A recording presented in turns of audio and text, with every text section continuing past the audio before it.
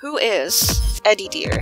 Eddie Dear is the best and only mailman in Welcome Home. He's described to be clumsy, forgetful, but still reliable. There's even a running gag that he often forgets the name of his own hometown.